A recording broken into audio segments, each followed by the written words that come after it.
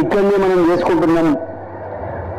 దానికి కారణం మనకు జరిగిన అభివృద్ధి మన కళ్ళ ముందు అభివృద్ధిని ప్రజలందరూ కళ్ళార చూడాలని దాని ప్రత్యేకత ఏంటో తెలియాలనే ఉద్దేశంతోనే ఈరోజు వీళ్ళందరినీ ఇక్కడికి ఆహ్వానించడం జరిగింది. ఇవాళ ప్రత్యేకంగా సత్యనారాయణ గారిని ఈ సమావేశానికి పిలిస్తేనే దీనికి అన్నం వస్తుంది అనే ఉద్దేశంతో సత్యనారాయణ గారిని ఆహ్వానించడం జరిగింది. ఎందుకంటే సూర్యాపేట పట్టణం మంచినీళ్ళ కొరకు ఎంత గోసపడిందో మనందరికి తెలుసు. రెండు వేల పద్నాలుగు ముందు ఏ ఒక్క సంవత్సరమైనా ఎండాకాలం వస్తే పోలీస్ స్టేషన్లో మహిళల మీద కేసులు లేని లేదు.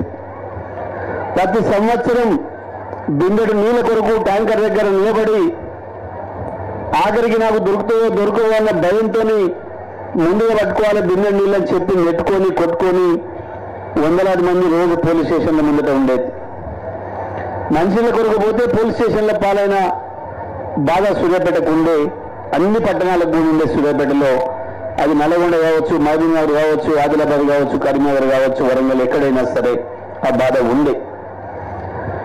కానీ సూర్యాపేటకు ఒక ప్రత్యేకమైన బాధ ఉంది. అది అప్పటిదాకా మనం కూడా గుర్తించలే. ప్రపంచం మొత్తంలోనే ఒక ఊరోడు దాగి పారవేసిన డ్రైనేజీ నీళ్ళు ఇంకొక ఊరోళ్ళు మంచినీళ్ళు చెప్పి తాగడం అనేది ఇంత దురదృష్టం ఈ ప్రపంచంలో ఎవరికి ఉండదు. మానవ జాతి పుట్టినకాంచి ఒక సూర్యాపేటకే పట్టిందా దౌర్భాగ్యం అని చెప్పి సూర్యాపేట బాధలు ప్రపంచానికి అంతా కూడా తెలియజెప్పిన ఆనాటి ఉద్యమకారుడు సత్యనారాయణ గారు.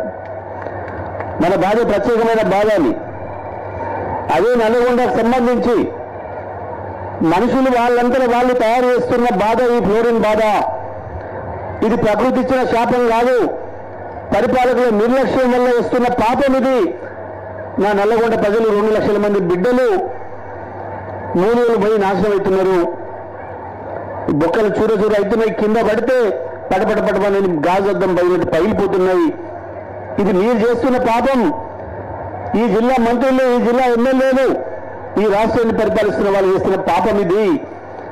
వాళ్ళకు బుక్కడి మంచినీళ్ళు ఇస్తే ఆ బాధ తప్పుతుంది అని చెప్పి మన బాధను దేశ